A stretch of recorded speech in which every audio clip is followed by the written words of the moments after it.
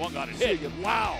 Deep to right field. Titanic shot into the second deck. The Phillies take a 2 0 lead.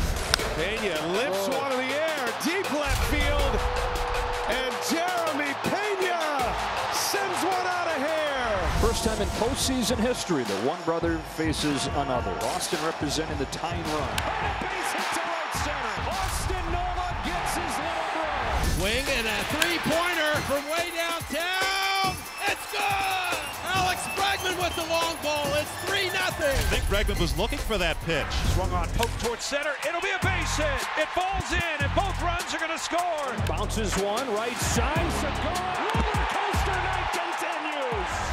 McCormick goes down the right field line. That ball's hit well. It is up and out. It hits the top of the wall. Chas McCormick, a two-run home run. Hoskins handles the ball. He cracks one in the air. Center field, and he's got it again. Then he swings and lifts one in the air deep to left field. He'll watch it fly. Jeremy Pena. Bregman into right center, a base hit. Bregman delivers the go-ahead run. One ball, two strikes. Judge on the crowd. Pressly's got it. Easy flip. Ball game over. And the Houston Astros win the American League pennant. The Astros are going back to the World Series. Back-to-back seasons. A perfect 7 and 0 to start this postseason.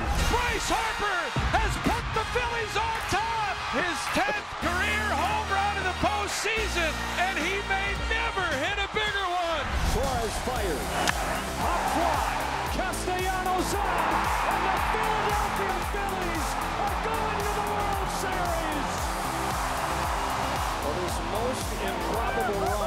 is still going.